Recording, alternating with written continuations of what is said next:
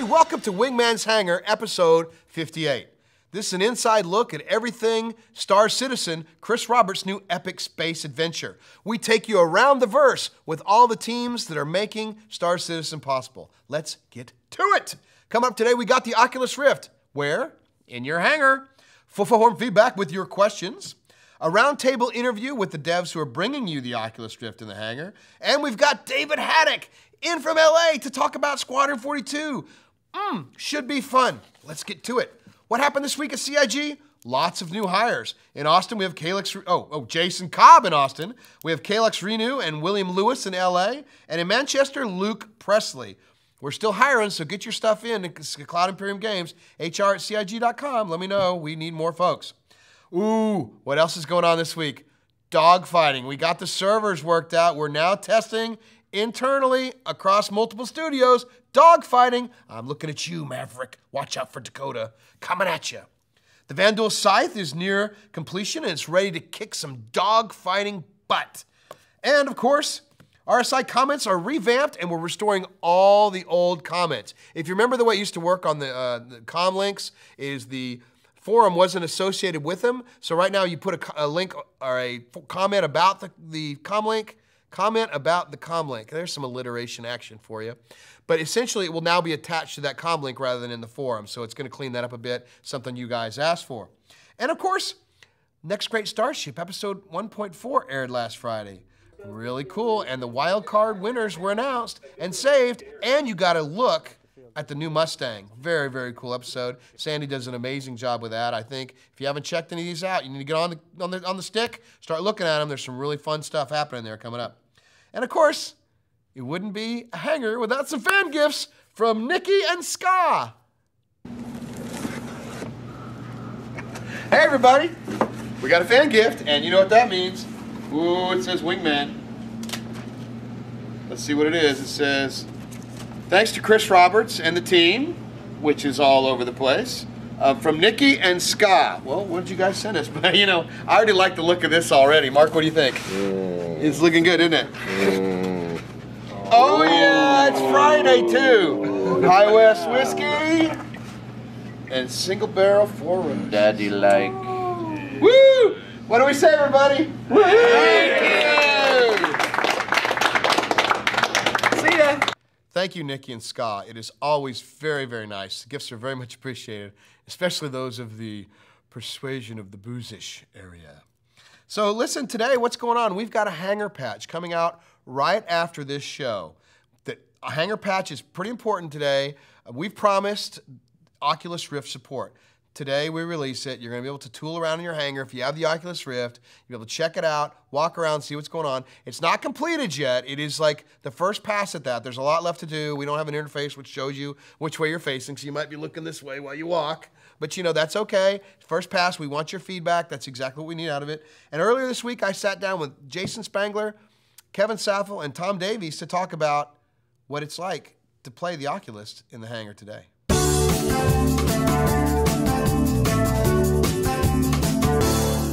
All right, we talked a little bit about the Oculus Rift, and I'm here at the Oculus Rift Summit slash Roundtable with Jason Spangler, our CTO, Kevin Saffel, lead programmer, Tom Davies, gameplay programmer, and we are now going to be implementing the first iteration of the first blush at the Oculus Rift. Now, Tom, you've been working on it a lot these mm-hmm. last couple weeks, so what are the fans, what can they expect?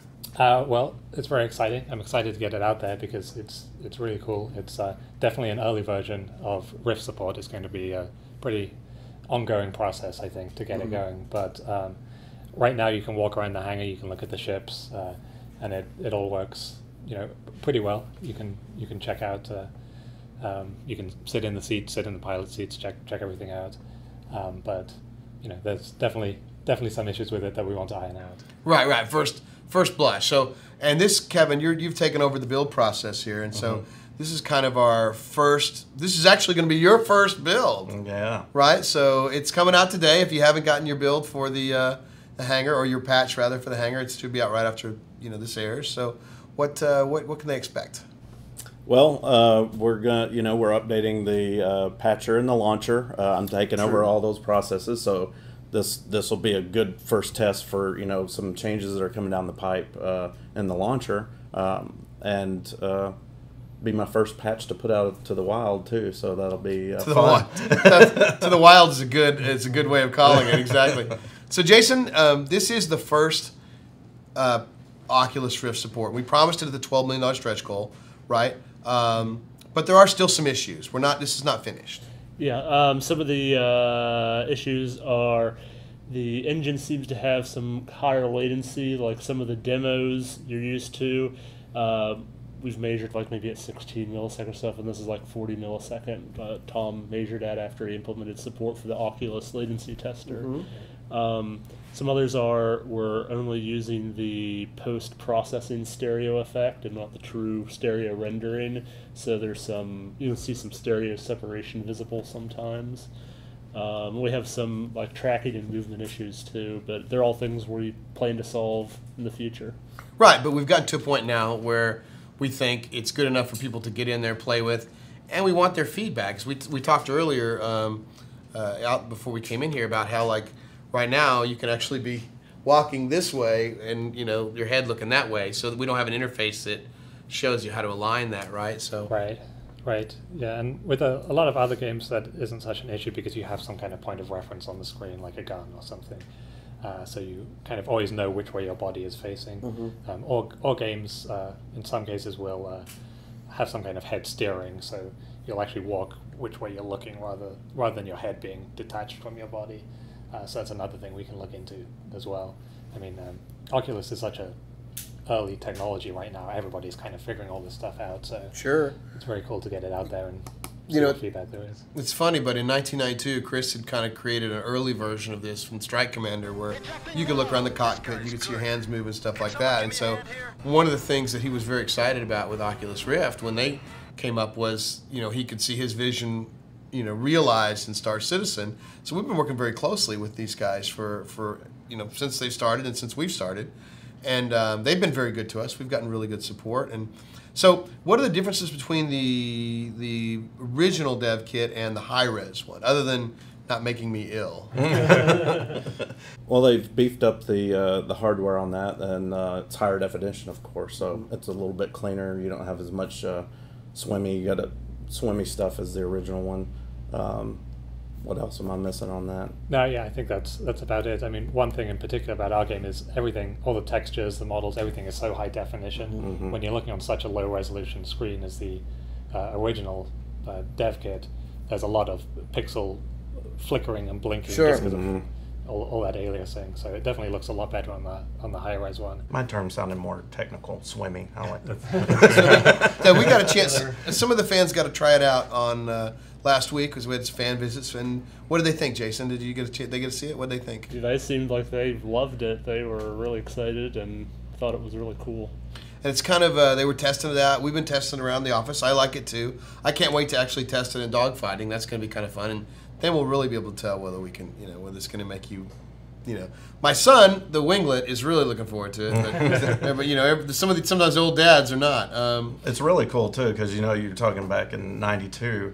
Uh, when I was in college, we were doing some of the original VR stuff uh, through some companies that were trying to set up all the oh VR is the next big thing, and it just didn't happen. And now it's actually happening, and it's, it's really cool to be working on it. Yeah, and we've done we've we dedicated a little extra time to making sure that happens because we promised people that we're going to do it, even if it takes a little longer. We're going to get it done because we have to. We are working with the Cry CryEngine team to make sure that it works, and so you know sometimes we're, we're waiting on them to update. Sometimes sometimes we rewrite stuff ourselves. It's it's an interesting process, and so we believe in making sure that we do meet those requirements, even if you know maybe it takes a little bit of time sometimes to get it right. But I mean, we've been playing with it for a while, right, Jason? A little bit in the, in the hangar, and so why are we doing it now? What's the deal now? We just feel it's time. Yeah, uh, it was time. We had the uh, time available on the engineering side to really fix these last few issues that we thought we really needed to before releasing. The uh, we have our high def uh, dev kit prototype so that we can see it in higher resolution. Um, and just it's the time. It is a time. and the cool thing about this whole thing is that both our companies are crowdfunding successes, and we are big on finally letting the voices of the community or the world be heard on what they want. Clearly, they want the Oculus Rift. Clearly, they want Star Citizen, and clearly, they want the Oculus Rift and Star Citizen, and that's happening now. So, go get your patch today. You'll enjoy it. I think uh, if you've got an Oculus Rift, great. If you don't, find somebody who does.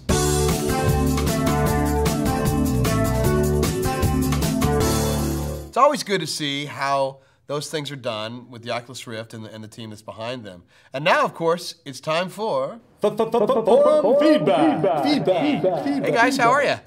Good. Dave, good to see you. Rob, how you doing? You guys ready for a little forum feedback? Sure. little tag team action today? Cool, cool, cool. Let's get right to it. From Infidus, those spider miners we saw last week were amazing, but got me to thinking. How would we manage to transport such a contraption without a ship as big or as larger than an Idris? Hmm, good question. I don't know. How, how big? I mean, they're, how they're, big are they? They're really big. They are really big. Yeah. Uh, I mean, the scale of the on that demo of the guy running across the platform. I mean, it's like a, a Hornet is very small compared to one of those things. Yeah. Uh, uh, yeah. I, I, I saw one. They had one on a test level in the dogfighting test, and uh, so I flew up right next to it and was just sort of like staring up in awe. It's amazing. yeah. So probably not, right, Rob? We Not not on the small ships. No, you're gonna need a bigger ship. I mean, I well, don't know unless how you use big. the shrink ray. there is no shrink ray. totally, totally kidding. Yeah. No, no. So, so no, we, we can't fit one in an, in an Idris or an Idris. There's no way. It's just too big. Um, and they'll already be there. So it's kind of like there'll be corporations that own those, and they'll be there on the things that you can then get when you're there. Yeah, so, those are like real high end things. Like yeah, and you know the maybe there's bigger ships that transport them later. I mean, we just showed a destroyer the other day. We just showed that off to everybody, so that's kind of cool. Yeah. All right, let's get right to it. From Darklander, what does a wingman do during the week at Cloud Imperium when not starring on Wingman's Hangar? yeah, that's a big adjective, starring on any. Boring. It's more like showing what up. does a wingman do? Yeah, well, um, to answer the question in all seriousness, um, meetings, meetings, and more meetings. We, we do a lot of coordination between all the studios, all the offices. My job is primarily to um, manage the Austin studio as well as check on the integration. The Austin studio is responsible for integrating all the bits and pieces into the game itself and the persistent universe. So there's a lot that's going on. We manage the teams in Austin. Uh, we work with the teams in Montreal. Uh, we, we support Chris in, in dogfighting in Los Angeles and Aaron in, in Foundry 42. So it's a lot. I mean, it's a many hour a week job that is way beyond the 40 that, uh, that, that we're supposed to work. But it's also a passion. And that's what we do. So uh, I manage the Austin studio. Is the short answer to a and I star. Way too late for that. I star. I, yeah, I know. Way too late for that. Too late for that. All right, from Isonix. Back in the day, the Star Citizen PU was built for solo players or small groups of players. With their citizen dossier highlighting their exploits as they journeyed through the verse and potentially became famous slash infamous, infamous, has the rise of popularity in organizations changed that mindset? Hmm, that's a good question.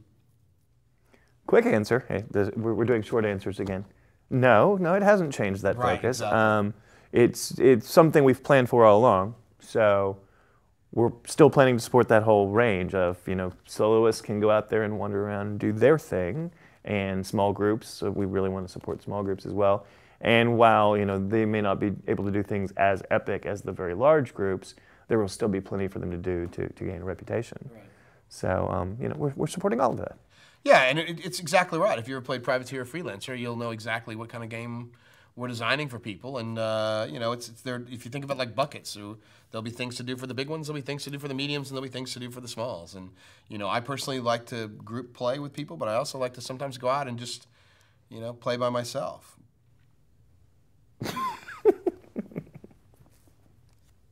Hmm. Not sure I like the answer to that. From Karu, will Star Citizen make use of CPUs with six and eight cores?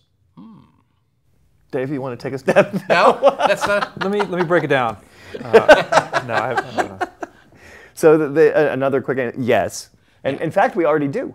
But uh, the, the uh, engineering team is has plans to further support that to extend the capabilities of the engine to use it better. So So we'll be taking advantage. I mean, that's one of the things that Chris has always said is that we're going to be supporting those with very high-end machines because nobody's out there doing that now, and that's part of our message, our core message. So you bet your bippy will be supporting that stuff.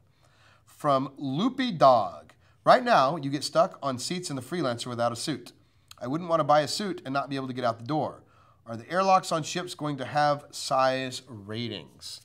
Well, that's a pretty good question, Rob. We just we just had the design meeting today on airlocks and, and Yeah. boarding and stuff. And Dave was on a plane, so Dave missed the design meeting. Snakes on a plane. Excellent movie.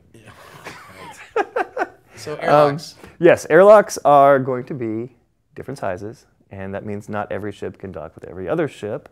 That's the theory behind it, at least. Um, so, at the same time, we're not going to like let you buy a giant spacesuit and fit in an Aurora, so you weren't going to have trouble getting out of that airlock because you can't get into the ship in the first place. So, you know, the armor is is also a scale thing. You have to you have to have a ship that supports that level of armor. Okay, cool. From Beltran, will our avatar actually speak during the Squadron 42 campaign or even in the persistent universe? And if yes, are there going to be multiple packages of voice sets? Uh, I believe so. That's the, the understanding that we're sort of moving forward with. That yeah, you're going to hear your your character speak as to, as to how many variations we have. I'm not sure. That's sort of a Martin. TBD. Yeah. Yeah, well, I mean, yeah, that's that's exactly right, and that's and again, this is one of those things that the audience will help us determine. Maybe they come up with some ideas on how many they want or what kind of things, right. you know, they, they want, and there'll be different reactions in Squadron 42 to different people. They'll have multiple levels of answering questions from folks, right? So maybe somehow we put that in the persistent universe. We'll see how they go. So TBD is an answer there, and I know we haven't done that in a while, but you know, And we also have, I mean, it, we'll have voice chat and live driver, so That's true. people can talk directly to one another. Right. Right. From Shrike, it has been said that we will be able to upgrade an LTI Aurora to an LTI Mustang for free once it's released. How will this be handled for Aurora LX and LN owners?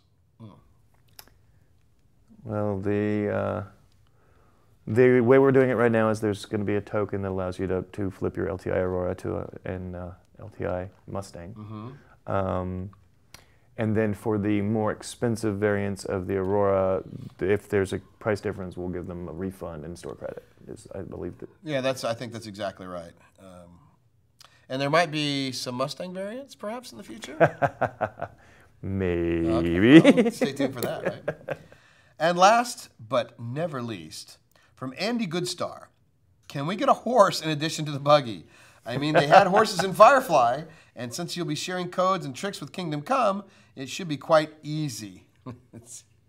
Are we gonna have horses? Piece of cake. you know how to make an artist cry?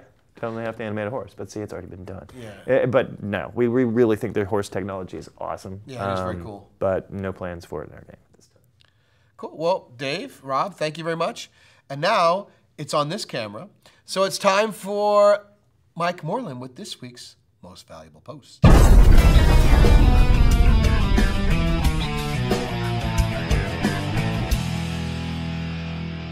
Hi, I'm Michael Morlan, standing in again for Ben Lesnick for this week's Most Valuable Post. This week's MVP goes to Markemp for his post, How to Create Your Own Art Using RSI's Assets. Now, this happened quite a long time ago when people figured out how to strip our assets out of our builds, and we thought that was pretty amazing. Most developers wouldn't think that was too cool, but wow, we love what you guys are doing with it. So, Markemp set up a post that walked you through exactly how to get those assets out of our bills. Thanks, Markemp. You're our most valuable post this week.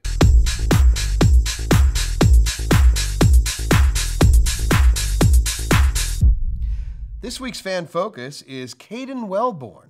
He and a group of his friends got together and created an entire Star Citizen soundtrack. It is really, really cool. Let's take a look at listen to some of the songs. Some of my favorites on there are Delivering the Stars by Nicholas Fitzgerald. So cool. Love that stuff. Mm, love it. We have To War by Caden Welborn. Mm, these guys, very, very talented. Loving it. And we have Decadent by Leth River and Nick D.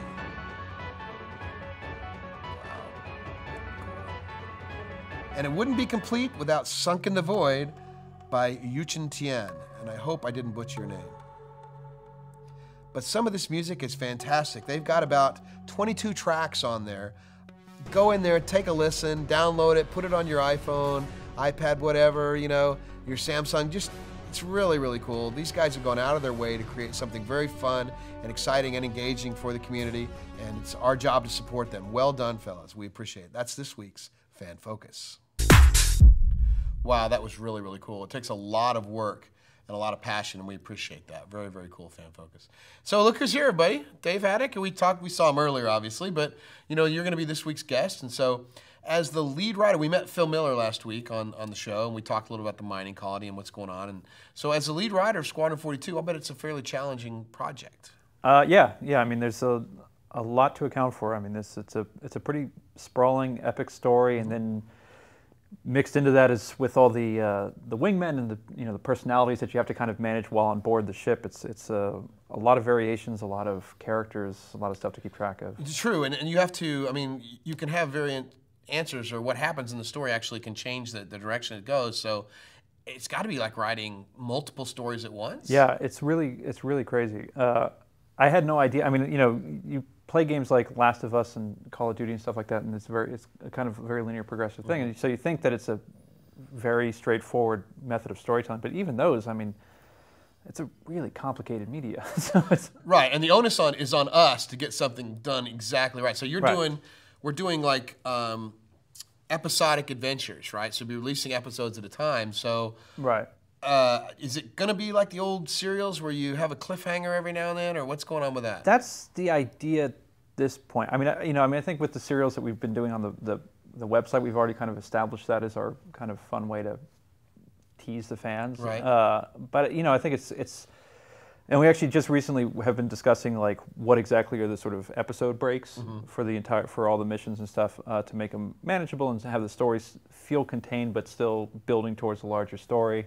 Uh, but yeah, I think you, you got to end on that sort of cliffhanger, you know, dying to get the next episode to keep on pushing forward. Right, and it shouldn't be too long a wait before between episodes for people to get in there and play. And and it is kind of a prequel. It does kind of set up the big universe. And you've been writing a, most of the fiction that's on the website. So, you know, are you have any favorite characters? Do you have anybody that you really really enjoy writing the most for? Or Uh, yeah, I mean, you know, we're, actually, weirdly enough, the, the one I, I surprisingly find a lot of fun to write is the Congress Now ones, where it's just the transcripts of congressmen yelling at each other. I don't know why, but for some reason that one's it's so much fun to write because you just get these personalities and they're always just bickering and sniping at each other and. Uh, uh, but yeah, I mean, as far as the fiction goes, I mean, I was a, I like Kid Crimson a lot just because Right. I love that type of pulpy noir novels, uh, and the Tanya stories I actually was liked a lot as well. So yeah, everyone's got kind of their own appeal, you know. But do you think we might see some of those people in the verse somewhere? I think so. I think it's a good possibility that, I mean, uh, you know, it's basically painting a big bullseye on them. You know, probably Yeah, hoping that they live past hour one. Of yeah. the Well, I Persistent doubt that. I mean, on. you know, probably the- not. Yeah. All the people with I Heart Dave Haddock but bumper stickers will protect you. Right, right. And so in hour two, when they die, uh, yeah. Yeah, it'd be fun. So, so you do, but you do enjoy it. I mean, you've Mm-hmm. kind of been able. I mean, writing these like short stories is is kind of able to. You, you got a creative Jones going. You can literally have some fun and go all these Yeah. different directions and imagine this giant universe and all these political agendas and things that are happening. And Right. No, I mean that was the thing. It was it was actually a, the the best way possible to kind of start tackling the universe because I mean those were coming out. The Cal Mason and Kid Crimson were coming out during the crowdfunding, so Sure. it was like kind of being able to te- stress test the universe, uh, what we had already had, to see what needed work, what we needed to flesh out, and you know what. Uh, uh, still needed to be explored. So uh, yeah, no, I mean it, was a great, great opportunity to kind of test the limits of where we wanted the universe to go. and we can see some. We'll see be seeing some more stories from some of the characters that you've talked about. But there might be some new ones to be introduced going forward. And Yeah, we have a. I mean, we're we have a new serial that's that's posting right now, and of course, there's stories in Jump Point and stuff like that. And so yeah, there's a whole slew of characters that are, you know, progressively kind of coming out to keep everyone entertained as as uh, as they wait for the game, and you know, And then the plans when the game comes out and the lore is created by some of the fans out there by themselves, we might be able to pick up some of the things that have gone on and create lore around that. you know, Absolutely, build- yeah. build you upon know, their stories. You you you're the guy who kills Dread Pirate Roberts. You get in the Wiki, you know, the Galactapedia. Someone might write a serial about you. What about the guy who kills Wingman? well? It'll take five minutes. Says my wife. You know, the point is, you know, you will be writing about. Yeah, that's probably. Can we cut that out? Can we redact that part? I believe we can. So, but that'll be fun, right? Writing stories based around the lore of other people. Yeah. No, I mean, you know, uh, there was a, a question I was ask, answering in the Ask a Dev about the uh, in response to the news update about the stretch goal system, and someone was asking, you know, will will we be able to to be part of the lore and and such, and uh, you know, the idea came out of like it would be a lot of fun for to write a news article uh, interviewing a backer who had discovered a system, and then Ooh. release that news article to the public as a you know Uh, new United news piece or whatever, but we're, we're getting sound bites from the player. Basically. That'd be really really fun yeah. and cool. I think the I think the backers would really like that. I think yeah. they'd, they'd like they'd like being part of that, and I don't think that's ever been done before. So yeah, I don't, I don't, I don't know if there's really been that level of interactivity. Yes, and, uh, and so and eventually we're, we you know as we get into this further and further as we get the persistent universe going, we'll we'll start writing for the meta events, the large global events that are going on throughout the universe, which will be fun too. The, yeah. Who's fighting who, where a war breaks out, what's going on in the system. Right. Are we, you know, colonization, all that kind of stuff. So there's a lot of fiction to be written. Yeah. Um, for Star Citizen. Well, and it's you know, there's aside from the stuff that we come up with, there's the stuff that we have to adjust to based on what the players do in the game. So right. it's like kind of two levels of we have our plans, they're going to have their plans, and we have to figure out which way the universe goes based on you know what people do. Now that also happens in Squadron 42 because you can take multiple paths, right? And so yes. We talked a little bit about that, but it's kind of like um, it's got to be huge. I mean, I, you got to think a, a, normal script for linear stories, what 110, 120 pages? Usually 120. So what do you think this is going to end up being? I, I have nightmares imagining the stacks of paper that the script is going to be. Uh, and all performance captured and all. Yeah, you know. I mean the thing, the thing. I mean, Aaron, Aaron actually had a, a very good point about you know uh, keeping the the branching contained because. Uh, you know, the more you branch, the, the, the more dilute your story. Farther away it gets from the trunk of the story. The yeah, you know, you have I to make everything make sense and stuff. So nothing's everything starts to feel more episodic and not as make not have as much dramatic weight. So I think it was a, it was you know we've kind of been able to keep it contained. There's still choices, there's still consequences, but keep it focused so you know there's a real threat, there's a real villain, there's real cost and real stakes and stuff like that. So the player hopefully gets engaged by that. Cool, man. Well, thank you very much for stopping by, and sure. appreciate. It. Always good to see you. Um, yeah. you're, you're in town for the mocap shoot, right? Yes. Yeah, uh, which should be really really interesting to. I've never seen one of those things live, so I'm. Full performance capture. I mean, it's it's audio, it's face, it's it's body. Super it's, cool. Uh, it's incredible. I know it's gonna be fun. It's gonna make it look you know, real characters with real actions interacting with each other. So yeah, I want to thank subscribers and pledgers for helping us put together this show, helping us put Wingman's Hangar. Without you guys, there obviously is no us. Um, coming up, well, later on, right after this show ends, you can push that button and get your hangar patch. If you got the Oculus Rift, put them on, play with it. Tell us what you think, how we can make it better, what you like, what you, you know, well, just keep it to what you like. No kidding. Let us know what you think, how we can make it better. All those things are important. That's, that's why we're doing this together. Um, again, we just talked with Dave here about our first mocap performances going on. We'll bring you up to date on that on a future Wingman's Hangar. We're going to go out and film a little bit of it, show you how that all works and what happens there. Um, ooh, this week on the next great Starship, the judges take a critical look at competitors' initial ship designs. Uh, with the mercenary gunship, we gave the specs to all 16 teams, uh, which I think we're going to show on the screen now. Is that right?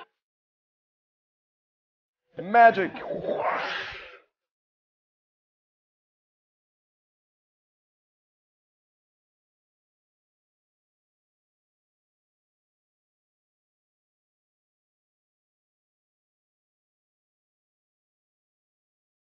Watch for Episode 5 coming up this Friday. It's going to be really fun. Those guys, there are some insanely talented people on that.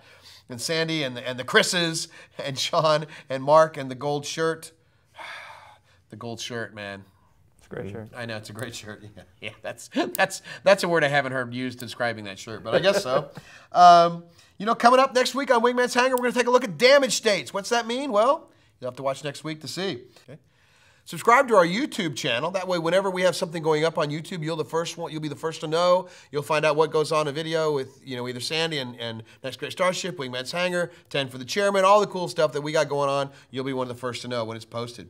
Uh, submit your questions on the RSI forum. When you have questions you want answered on forum feedback or 10 for the chairman and subscriber den, make sure you get them in. We put a forum feedback thread up. I believe it's on every Friday. We've kind of still getting into the new flow now that we're on Wednesdays. We'll put the thread up there. You put your questions. We'll pick a few. We'll answer them. That's where we get our forum feedback. Without you, we don't have a forum feedback. And uh, remember, Wingman's Hangovers 15 minutes after the show. Yeah, we'll have a little informal look. Yeah, right, informal, any more than it can be. Uh, we'll just talk together, have Skype calls. We'll get in chat roll, get in chat, communicate, talk to each other directly. Let me know what you thought. You know what we can do better, and and it's it's, it's your way of getting your voice heard while it's you know pressing it on your mind. Not even sure if that's actually the word I'm looking for, but it's it's it's a good time anyway. Um, remember, if you want your stuff featured on Wingman's Hangar, send it in. We just might use it. Where are we going to see them, guys? In, the, verse.